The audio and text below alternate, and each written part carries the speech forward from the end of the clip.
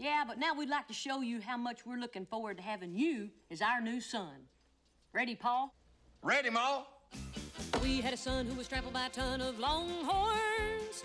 But you're here cutes to fill his boots as flat as they may be. You'll yell yippee-i-o oh at the rodeo till the day's done. Then you'll make a lot of pals with buffalo gals. Just leave some for me. Hey there! We'll barbecue steaks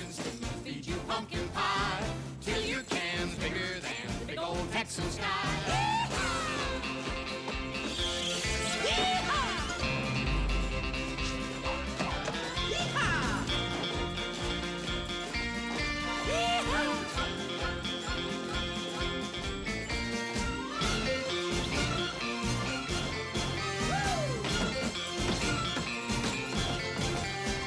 You'll grow tall and play football, be famous. You'll grow more on a chain of stores, marry Betty Lou.